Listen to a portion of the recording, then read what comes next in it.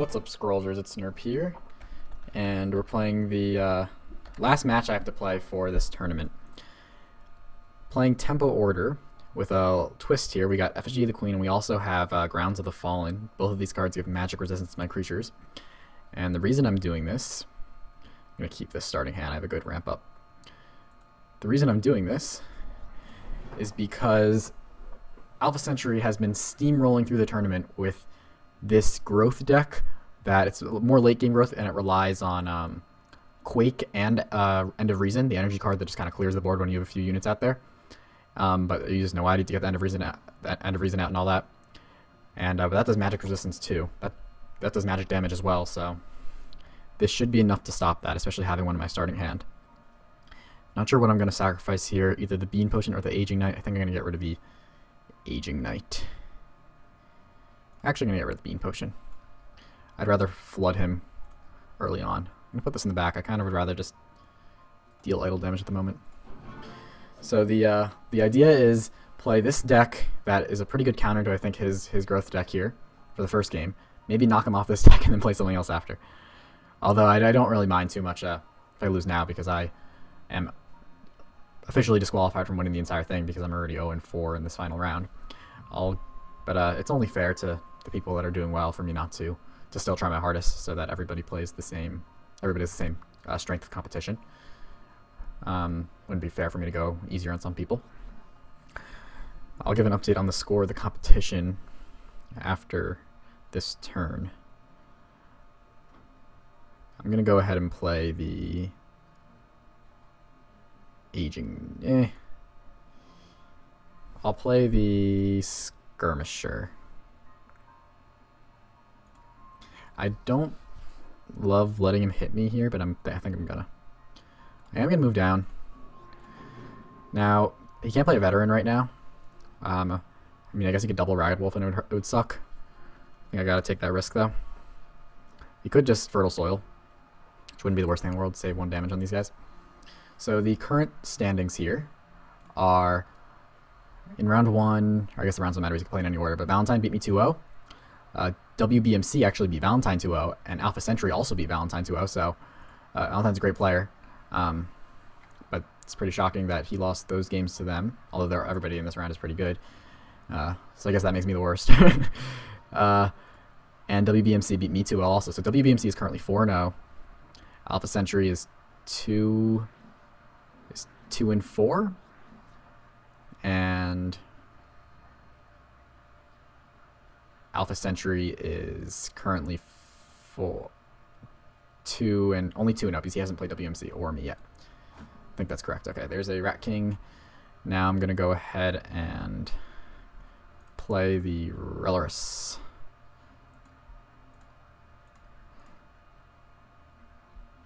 Um, I'm gonna go ahead and put the this guy here. He can obviously go with a Kinfolk Veteran now, which could put either of these two things into Quake range. End of Reason is also always an option for him. Although I had a pretty perfect kind of start in terms of creatures, for some reason I don't feel too ahead right now. a little worried here. So I'm probably to need to start top decking the right cards. Probably should have had this effigy in the middle here. That way I can use it as a wall if need be. Okay. I'd rather just get units out, so I'm to get rid of that. Pother. Tempting, but I think I... I think I need to just start to do more damage on the board. I, I I could take this out, this Skythorn out. I don't love doing that. I'd rather just take out his creature. And I'll also play the Exhibition Guard. Okay, he's going to be able to deal 2 damage to my Effigy the Queen, which kind of sucks. But I can't really do much about that. Him just dealing 1 damage to it will put it in Quake range, which gets rid of that whole magic resistance thing. But at this point, I think he is pretty concerned with my line of creatures here. I would like to top deck maybe another one of these things. Maybe a Grounds of the Fallen. Because that would give everybody magic resist resistance 1. Uh, a Noaidi End of Reason would be pretty good still. Probably not this turn, but because my guys are still next to the effigy, but for the future I have to be a little weary of how I line my units up. So next turn, my Relentless guy is not attacking, so I doubt I'm going to be doing any big board clear moves. I'm probably just going to want to get more units down for him to get rid of. He goes with the veteran. Okay, he's going to put that into quick range. He goes for resources, interestingly. Maybe he has a... Well, what could cost 7 that he would want to play? I'm not sure. Ragged Wolf. Okay, so he's going to take that out entirely. Now, I wish I had a Blessing of Haste here. Grounds of the Fallen. All humans have plus one attack. That's pretty good. I think I'm going to keep that. Although everything else is also... Uh, I'm going to get rid of it, actually. I need to get units down. Okay, this point, I think I'm going to protect my guys that are attacking and just hope that he doesn't top deck a Quake, because now a Quake would hurt because this thing would be destroyed. And I'd like to top deck my other effigy, effigies of the Queen as well as Grounds of the Fallen. I don't know, I got a little attached to keeping this Pother in hand because, I mean, there's just so much so much synergy with when you have a guy with a Relentless out and then you have a Relorus out. But there's certainly cards in his deck right now that could really be a pain for me. Um, I guess End of Reason, Noaidi right now wouldn't couldn't do that much because he has to get rid of the effigy first. But we'll see. He goes for the enchantment. That's going to be unground, I believe. Um, somewhat of removal for growth. So that's annoying for me, because I'm going to need to deal idle damage soon. Bit of a slow start for Tempo Order in terms of idle damage. Unfortunately, the way I'm positioned, I cannot get this Royal Skirmisher up unless I pother this. Another Rat King. Those rats are annoying. Hard for me to bust through that. There's a Kinfolk Brave. Yikes. Okay. Um, what is the best way for me to go about doing this? If I decimation, this will have four attack, and I can get this row down a little bit. I don't know. Uh, I don't love the way I'm positioned. How did this happen? I had such a such a strong start. I don't know what happened here. Um, I'm gonna go ahead and go for scrolls. Okay, I can go with a focus now too. I don't think I need to do that though. If I decimate here, that's one, three, two. That'd be six. That could go to. I'd still need to. I am gonna destroy this Skythorn, I think.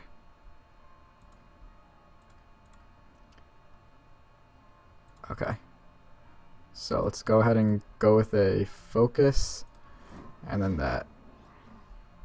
And that doesn't kill that, I screwed up. That's bad. That's a big blunder. A big blunder. That kills that. That I for some reason I thought that was gonna be enough. I muted the decimation instead of just the imageryman. If I played decimation, it would have been enough to destroy that row. That's a big blunder though. I think I might just surrender. This second round of the tournament has been a nightmare for me. Yeah, he's able to just take things out easily now. Something about growth. Just, even if you feel like you get the perfect draws, you just can't overrun them sometimes. Yeah. I don't think there's going to be much to be able to bring me back at this point. I don't have any way of getting regaining control of the middle of the board and all that. I might just surrender. Maybe for once one of these videos will not be so long that I have to speed up and get people, uh, some people not happy with the speed. Some people are happy with the speed. Jeez. That was a pretty big blunder. Because it just... Not only did I not kill this guy, he gets to kill this. I can't come back against this. I have no I have no board control methods, uh, board clear methods. Yeah. I'm gonna just wave the white flag. I don't think there's a chance of me coming back now. All right, here we go. All right, game two. When in doubt against growth, go with decay. Mono decay. See if he sticks with his growth deck. I'm sure it's been doing wonders for him so far, so I assume he will. But decay is pretty fine against everything besides like structure energy. Unfortunately, going second. Not good. Okay. Gonna have a pretty clear mulligan, I think. I, I really want to have a 2-drop to play. That's uh, That works. Also, a Soul Steal is pretty good. Against Growth, I don't know if I have a chance to Blight Seed, but I am going to keep it. Um, I'll get rid of the Damning Curse. His deck, is, like, he wants to play, like, the four turn, the fourth turn Rat King and stuff. I mean, yeah, it's great against, like, a Great Wolf or something, but I have, I have Unbinds as well, and I have Languid in hand. So if he plays a Brave now, I can either Languid it or play the Tribesman. Um, plays Sister of the Fox, I can just play the Tribesman. But yeah, if he plays Brave, I'd probably rather just wait for the Soul Steal against it. it might be pretty good to try to get a uh, Seed off on that Ilmire Tribesman. Um, I think that's what I'm going to try to do. That could put me ahead. Uh, Harvester is tempting to keep. Do I dare get rid of a Harvester? I think I might. Because I can go Tribesman, then I can Blight Seed, and then I can play... I'm actually going to get rid of the Languid, although it's a you know a great card. I think I like the rest of my the rest of my cards more. I don't know. Languid's nice, but when, when you didn't play turn 2 Brave, I don't know how valuable it is. So next turn, I'm probably going to Blight Seed. And then chances are he's not going to have a way to kill the uh, this guy yet. Obviously, that goes out the window if you just top deck a Kinfolk Brave, then I have to deal with that immediately. Okay, Skythorn. So next turn, maybe a Rat King or something. Okay, this game is going to be a little longer than the last one, I can tell you that much. Because Mono Decay against a late game growth, it could be a could be a marathon of Harvesters and Witch Doctors and Rot Eaters versus his big units. Rattle him, I think I can get rid of pretty easily. Okay, I'm just going to go ahead and Blight Seed now. Easy call. Although Soul Stealing is tempting because then it stops him from Fertile Soiling next turn. However, he's going to Fertile Soil at some point anyways. It could screw up his turn 4 though. But seeing the Skythorn go out, I have a feeling Rat King is coming. Um, next turn, I will have six resources, and I'm going to draw a few more cards, so I can play a... Uh, okay, I'm not going to play Soul Steal then. Uh, Witch Doctor or Halls? Hmm. I get the two perfect cards right now to top deck. Um, I think it's going to be the Halls. I just want to ramp up really far ahead of his deck. I can play the Witch Doctor, I mean. I'm going to play the play the Halls. I know it might be a little greedy. Not trying to just fill the board with the humans and Witch Doctor against growth, but if there's ever a time to be able to play it, it's when against growth you literally have the only creature on the board. So it's not too threatening right now. And that creature's not even like kinfolk veteranable. It's not a big deal. So next turn I'll have five resources, and then I can play the Oblivion Seeker. Okay, there's the veteran. Okay, we're just to let him do that. Now we're to be able to choose a card so I can get rid of one of these cards. Um, I'd like to keep the... Kind of, do I want to keep the Curse in my hand right now? Mm, not really, I don't think. I'm going to... It doesn't really matter. I'm going to sacrifice this because I want to keep the rest of my the rest of my cards. So whatever I drew here, I was going to sacrifice because I'm going to play Because I'm going to play the uh, Oblivion Seeker instead. So I'll play the Oblivion Seeker. I don't think he's going to go with another veteran. Next turn I'm going to go with the, uh, the Witch Doctor. And we're going to slowly make our way up here, try to destroy the Skythorn. He goes for resources. What are we going to see? Not sure if I'll regret not taking that uh, Curse for the second time. Okay, goes with he goes with the. So he knows. Oh, okay, that's smart. That was that was good play by him. Okay, I'm going to go with the Tribesman because now I really need to fill the board. I don't think I'm going to have a chance to play another Halls. So now I'm going to go ahead and play the Harvester. Or I could just play three humans, I mean. That would be a lot, though. Should I just play the three humans?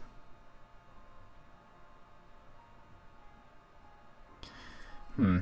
I'm afraid of the uh, end of reason stuff, though. Or just play the Witch Doctor. Or Harvester Soul Steal.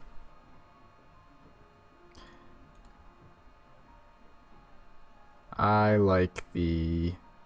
I'm going to go the three human route. Yeah, screw it. I'm going to go with Harvester Soul, Soul Steal. I got to start getting this guy out here. So there's the Harvester. So Soul Steal, don't go in the middle three rows. That is good enough for me. So next turn I can go to seven resources and I can play a Life Stealer and a Tribesman. just going to have to start filling the board. That Skythorn is keeping him, it's kept him somewhat, like, still, like, how did he get to seven resources before me when I had the Blightseed and the Halls of Oam'Lassa? That's depressing. Both these games, this game and last game, I feel like I had pretty much, I can't ask for much better cards, I think. But I'm still just getting overrun. Maybe Growth is the best deck in this meta. Even though everything feels viable. We'll see.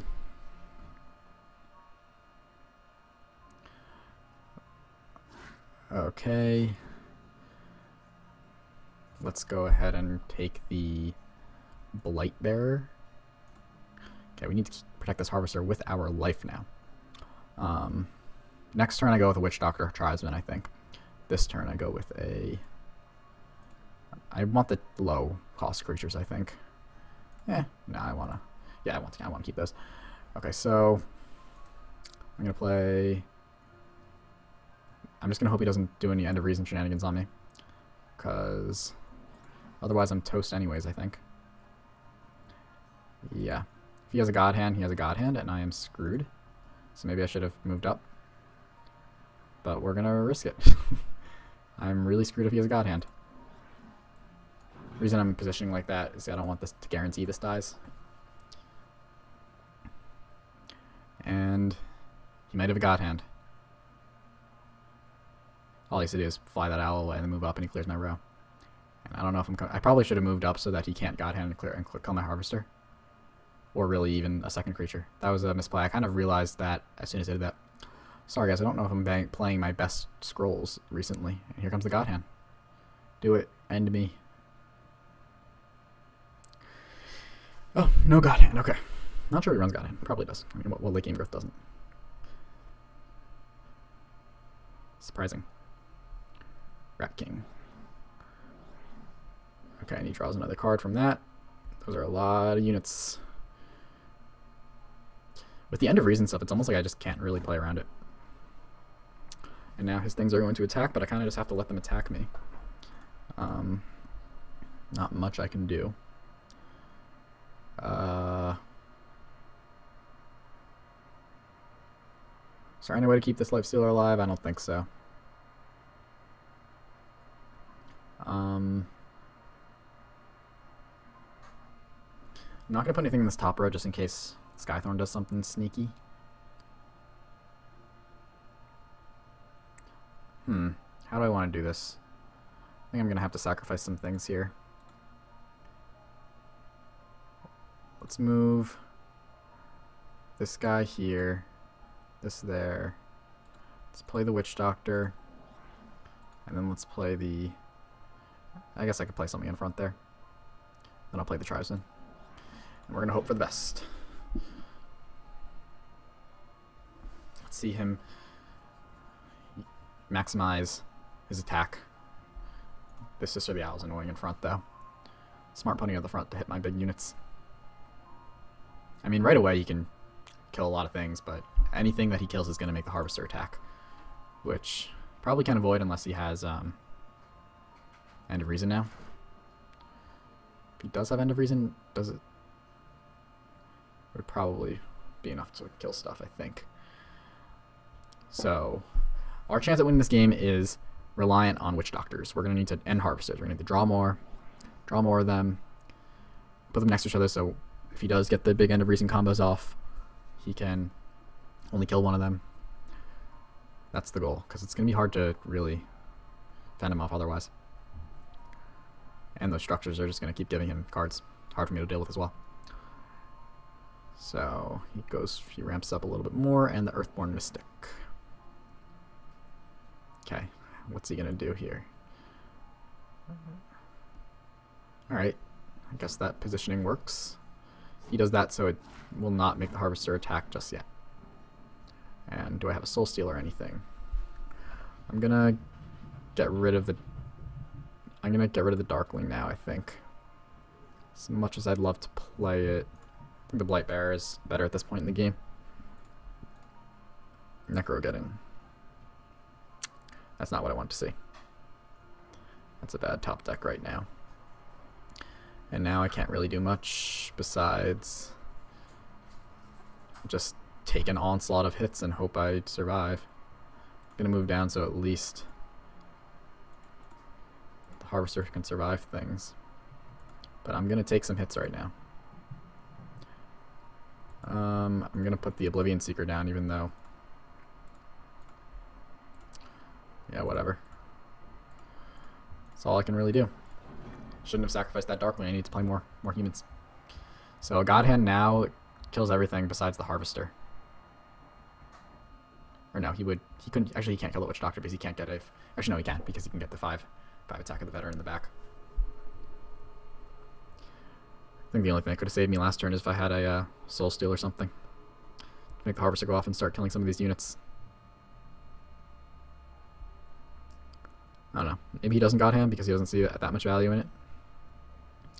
I think it would be the move for him, though.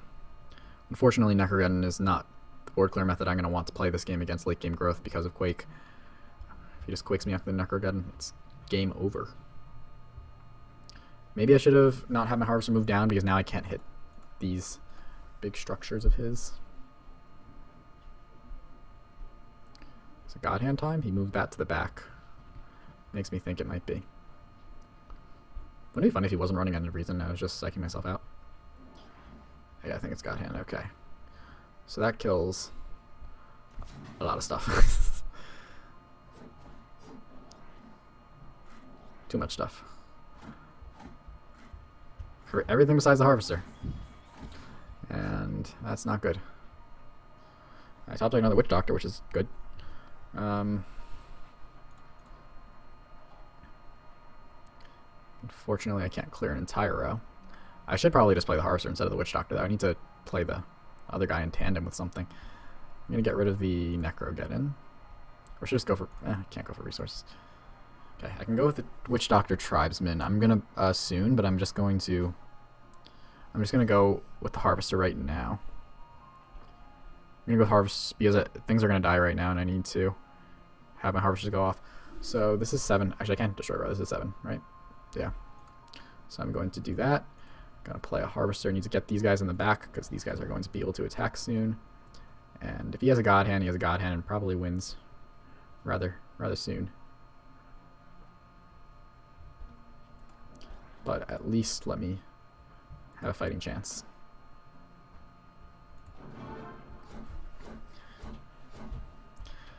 Let's see. So next turn I can go with a Witch Doctor.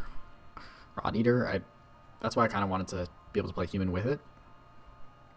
I kind of need my tribes in front to survive this turn.